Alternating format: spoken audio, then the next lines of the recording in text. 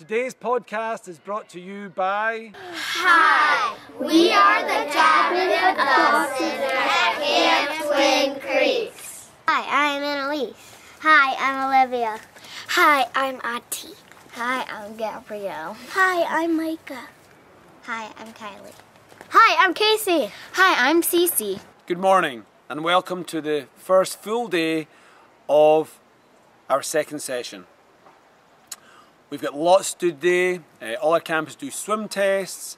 The, the morning, what they, they do is they go around all different areas with their cabin.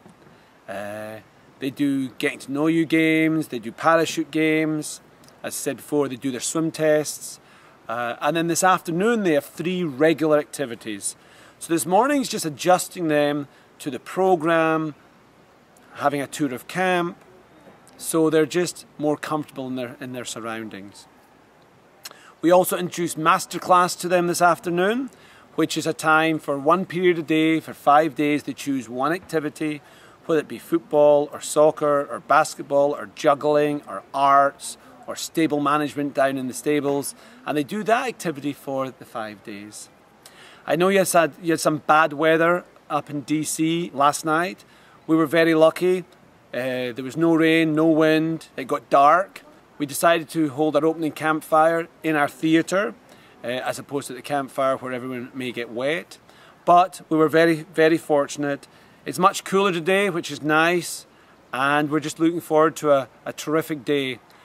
Zipping today, we have Winfield. Leaping, we have Logan and Hines. Fairmont, Morgan and Preston and the cabin of Spencer tonight are all going out on overnights. Uh, please call, email with any questions, anything we do to help. We want to just make this whole experience as good for your children and hopefully uh, as good as possible for you as well.